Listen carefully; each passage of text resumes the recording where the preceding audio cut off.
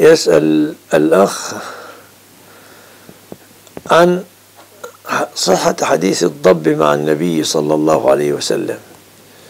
إذا كنت تقصد الضب الذي تكلم لا يصح.